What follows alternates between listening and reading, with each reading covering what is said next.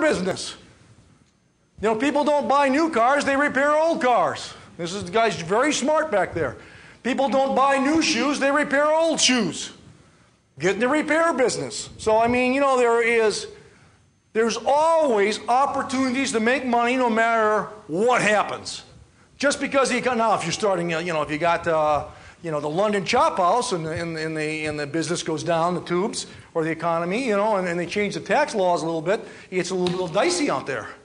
And I like Carl's chop house, they got a plan, okay? And what's their plan? He knows this. See, they're going to bring strippers in there. Yeah, that's. Carl says, you know, business sucks. Okay, we'll bring in some strippers. There's always a need for fine culture. Do we get this? I mean, you don't just have to wait, you know, and, and people are making tons of money right now on the internet and, and eBay and stuff like that, you know. Uh, poor choice of opportunity. Those are some business I would not start. What are some business I might take a look at? These are the hottest businesses we've been able to identify for the next three to five years down at Wayne State University. You may want to write some of these down. These are the good ones out there. First one is manufacturing orange barrels. They're everywhere. Now, see, that's a joke. That's a joke. See, I'm not really manufacturing orange barrels, but that's the first time I've shown that slide, and maybe the last time I showed that slide, too. Uh, here's some hot business Mexican restaurants. If Taco Bell can make it, anybody can. Holy smokes. Child care and office building. Just out of curiosity, do, is there any child care center in the, uh, the Coleman Young building here? How many people, if they had child care here, how many people would use that resource? How many people would drop their kids off? Do we have anybody that's got kids in here? Okay, would you use that? Would you drop them off there? Possibly, because you don't have to drive out of your way in the morning. You don't have to drive out of your way in the evening. And 10.30 in the morning, instead of having a cigarette break or coffee break, you can run downstairs and make sure that Billy or Biffy aren't being terrorized by somebody. Good. Uh, let's see what else we got here. Nursing homes. Man, oh man, you put somebody in a nursing home, you know what it costs nowadays? Who's got people in nursing homes right now? How much does it cost you? Um, I couldn't tell you personally, but I know it's a bit. yeah, anybody, anybody got a price? Yeah, yes, sir. 1800 a month. Yep. Yeah, I was going to say, I'm moving in there. 3500 a month, sometimes even five grand a month. You know, um, they, they, people work their, you know, their whole life to, to acquire assets, to leave their children, and, you know, um, one year later, their, their, you know, their, their, their, their fortune is gone. It's the reason I put my parents in the basement, you know. And Give them dog food to eat. Cut down on the expenses. Home security. I know somebody had that up there. What they doing? Home? Oh, we, we talking about? Yeah, yes, sir. Home security, electronic supply stores, management consulting, like this young lady in the orange is doing. Uh, virtual assistants, computer repairs. Well, I don't know.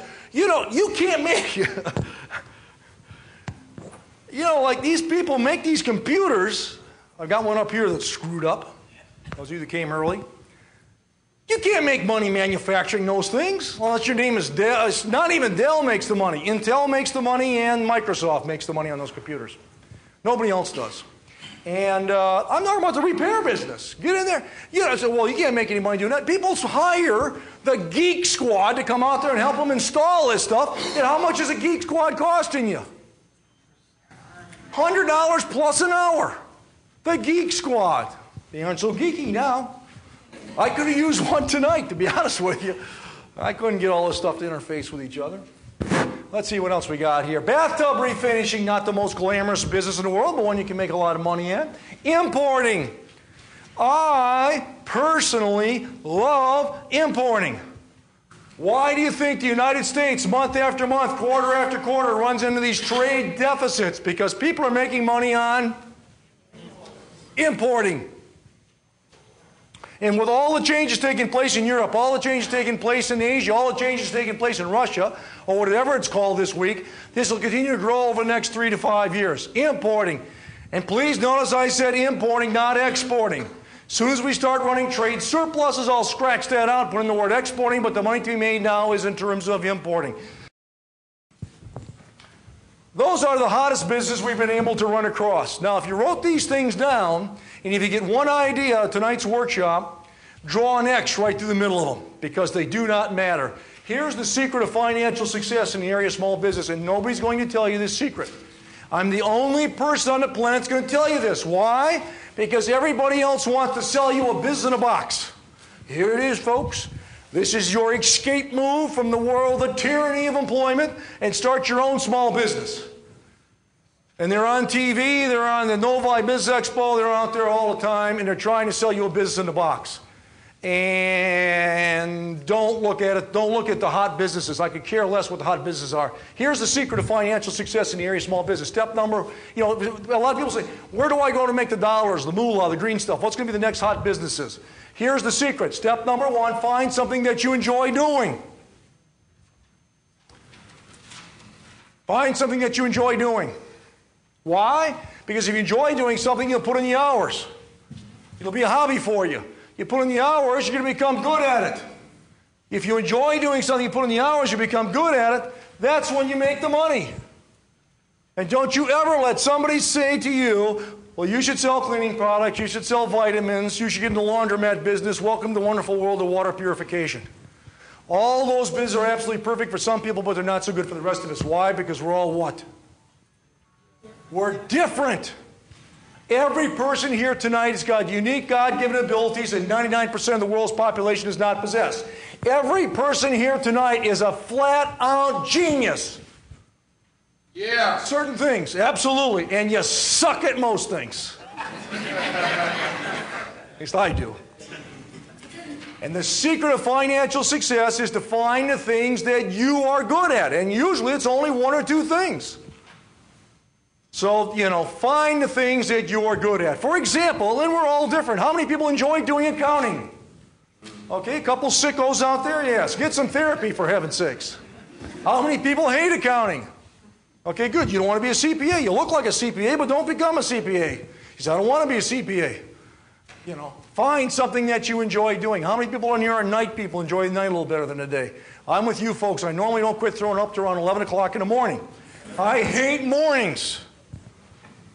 One of the things I'm responsible for is working with you for the next three years and applying this information, but it's a little bit later on. But, you know, don't call me in the morning. I like to have a nice meal before I go to work at Wayne State.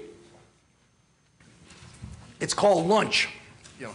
But then again, I'm there till 9, 10 o'clock at night, you know, so it's like I like the night. How many people are morning people? Enjoy the morning a little better than the day. Good, you see this young lady here running a bar?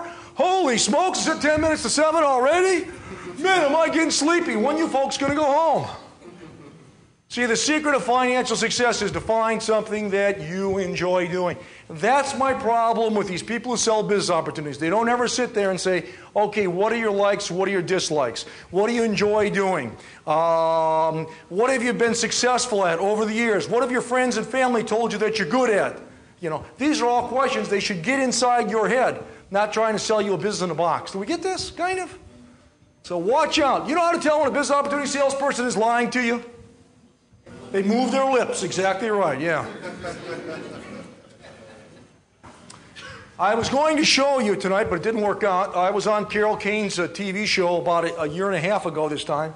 And one of, the, one of the reasons I was on there for half an hour is because I was explaining and I was terrifying of these people who are taking buyouts from these large corporations. You know, the Ford, General Motors, Chrysler, they're giving them $150,000. They just don't come into work next Monday. I said, okay, sounds good to me. And I know what's going to happen. These people are going to go out there, and after about two weeks, they're going to say, hey, I'll buy a business, and then I'll, then I'll be, then be successful in there and, and, be my own boss. And there's a whole bunch of people out there that are really uh, evil people, like, I don't know, whatever they are. Here's the secret of success in the area of small business honor thy talent. Everybody here's got unique God given abilities that 99% of the people don't have. What are your abilities? And that's what we got to focus in on in our classes. What are the abilities that you have that are unique?